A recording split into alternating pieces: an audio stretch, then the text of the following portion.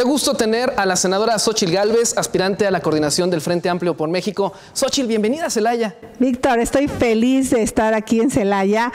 Hace mucho tiempo con mi empresa hice unas auditorías ambientales aquí, creo que a una empresa de acumuladores. Era una joven ingeniera y venía yo aquí a Celaya a trabajar como ingeniera. ¿Y la cajeta ya la probaste?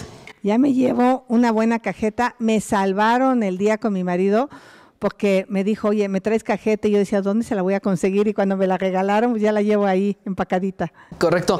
Xochitl, yo quiero hacerte una entrevista muy diferente a la que te han estado haciendo mis compañeros. Hemos hablado de seguridad, hemos hablado pues de muchos temas, pero a mí me gustaría preguntarte, ¿te imaginabas estar en esta posición tan importante en la vida política del país? ¿Cómo fue ese giro que dio Xochitl Gálvez? Yo ni siquiera sabía hace 50 años si iba a ser la secundaria.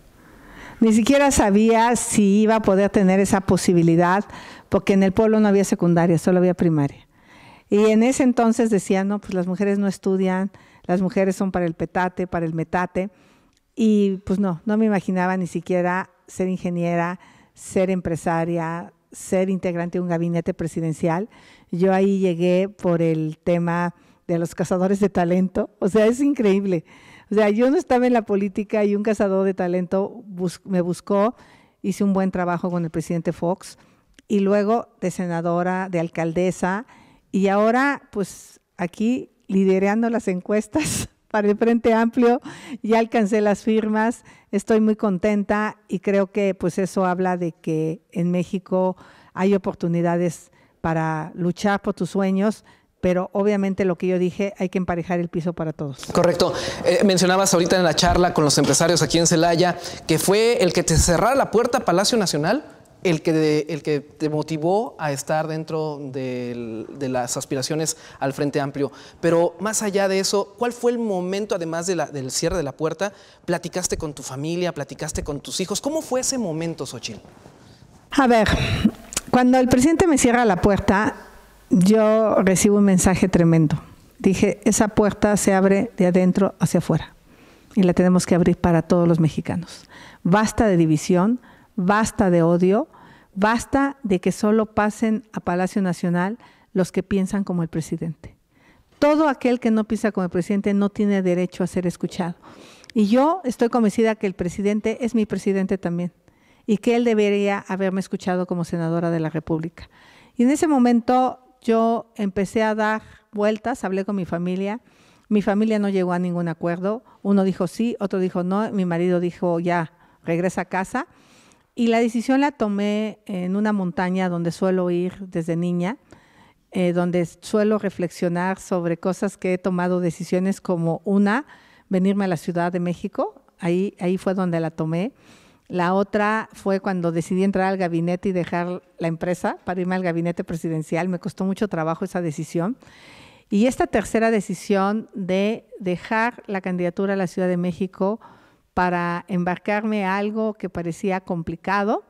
Yo no pues, soy la favorita de los partidos, no, no, no tengo militancia, pero pues se veía interesante que se abriera a los ciudadanos. Entonces ahí ese día que ese día fue el 25 de junio, eh, subí a la montaña como a las cinco y media de la mañana y la decisión yo creo que la tomé como alrededor de las 10 de la mañana, sentada, eh, reflexionando y dije, va. Y bajé con la decisión absoluta, hablé con Marco Cortés, solo le pedí una cosa, que las firmas fueran de manera digital, para que yo no tuviera que estar pagando dinero porque no lo tenía. Y ahí la tomé, en ese lugar. Y hemos visto en, los últimos, en las últimas semanas, pues incluso ese apoyo de incluso eh, el propio eh, diputado federal Juan Carlos Romero Hicks, que en un principio decía yo voy y a la mera hora dijo no, me voy y me sumo con Xochitl. Sí, yo se lo agradezco a Juan Carlos porque él va a ser una persona muy importante en este proyecto, porque este proyecto, a diferencia de lo que piensa Xochitl, yo cuando les digo, no soy yo, son ustedes, porque yo lo que quiero es escuchar a todos los especialistas, a los que saben cómo resolver los problemas locales. Por ejemplo, decía a los empresarios de Celaya, necesitamos sentarnos para ver por dónde ustedes miran el desarrollo de Celaya en el tema eh, de industria hacia dónde quieren caminar. Y cuando tú estableces hacia acá, entonces enfoca los esfuerzos hacia allá. Pero si no hay ese consenso entre todos, pues no, no lo vamos a lograr. Eh, ¿Qué vamos a hacer en materia de educación? Yo lo único que quiero es que en materia de educación hagamos lo necesario para que emparejemos el piso. No basta darle la beca al joven. Si no lo preparas para regularizarlo, para que pase el examen de admisión, ese joven no va a entrar. Entonces, sí necesitamos hacer toda una estrategia. Como no vamos a poder corregir, la educación ahorita desde, desde el principio, pues a los de primaria darles una regularizada desde seis meses antes para entrar a la secundaria, a los de secundaria una regularizada antes para entrar a prepa y a los de prepa para entrar a la universidad, sobre todo de zonas marginadas. Darles clases de inglés, darles clases de computación, de tecnología, para que estos jóvenes puedan estar equiparables a los jóvenes del centro de Celaya.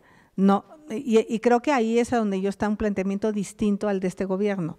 Mi planteamiento es eh, que si no das herramientas, no sales adelante nada más porque te caiga un depósito en el banco. Correcto. Hablas de herramientas. Hace unos días te veía en una entrevista en una plataforma digital donde nuestro estimado Broso te preguntaba cuál era el kit que traía Xochil Gálvez. Yo te preguntaría, Xochil, ¿cuál es el kit que necesita Guanajuato? Si Xochil Gálvez estuviera aquí en este momento y trajera su kit, ¿qué kit le darías a Guanajuato, Xochil? Energías limpias, resolver el tema del agua, que es un tema delicado para Guanajuato. Ese es mi, sueño para Guanajuato, ¿no? Porque pues, no puedo hacer tantas propuestas con detalle. Seguridad. Estado de Derecho Creo que capital humano lo tienen eh, y, básicamente mejorar un poquito la infraestructura, pero está. Entonces, básicamente creo que energías limpias, agua, Estado de Derecho eh, y seguridad pública. Son cuatro cosas que si se las damos a Guanajuato, eh, lo van a lograr. Correcto. ¿Cuál es el eje rector de, de Xochitl Galvez y que el día de mañana le gustaría a Xochitl Galvez se permeara en la sociedad? Sabemos que todo el mundo tenemos ideales, tenemos un eje que nos rige en nuestra vida.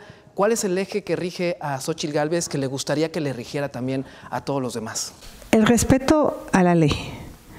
Que si tú vives en un pueblo recojas tu basura, la deposites, la separes, la deposites donde la tienes que depositar, no te estaciones en doble fila, eh, si no puedes beber en la vía pública, no bebas en la vía pública, si no puedes tener un giro negro, pues no intentes extorsionar al alcalde para que te lo permita. O sea, que todos cumplamos con la ley, empezando por la justicia cívica. Para mí esa es como la base eh, y la cultura del trabajo.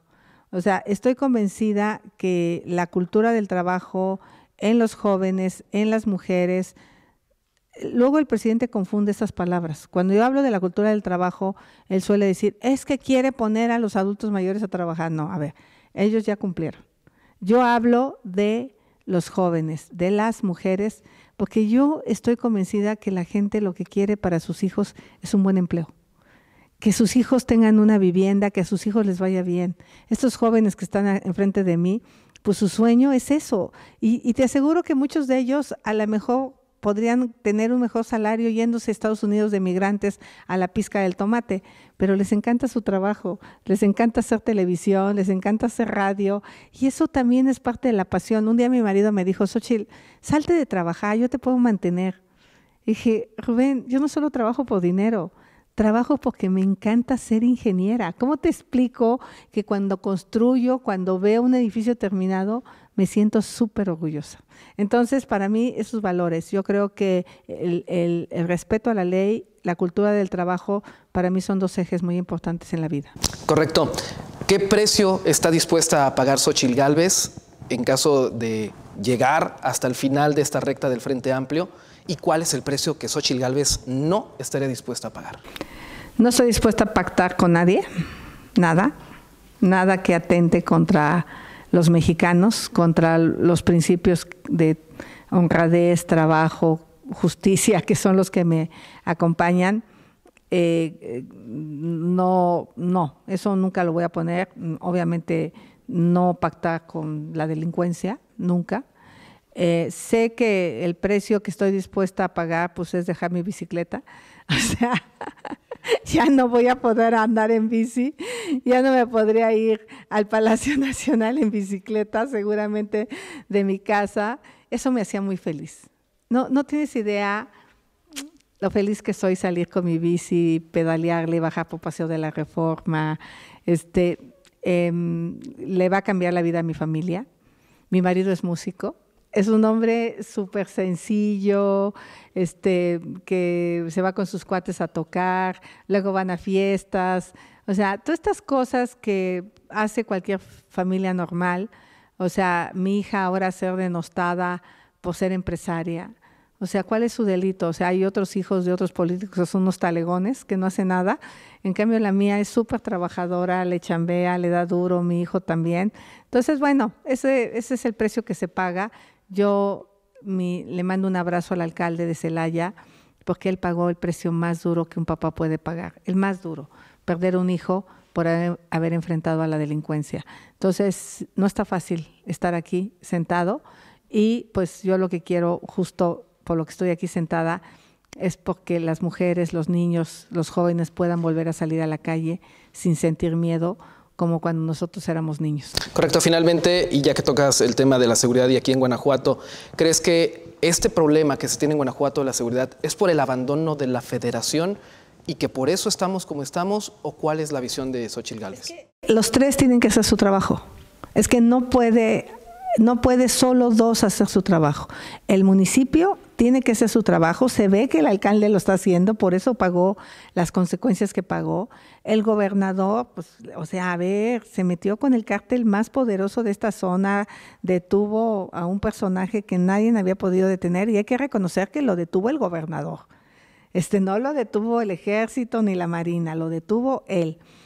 Eh, eh, y el gobierno federal a veces pienso que señala mucho a Guanajuato en homicidios dolosos, pero en otras cosas está muy bien, o sea, tiene bajo nivel de robo de auto, bajo nivel de secuestro, eh, eh, baja extorsión.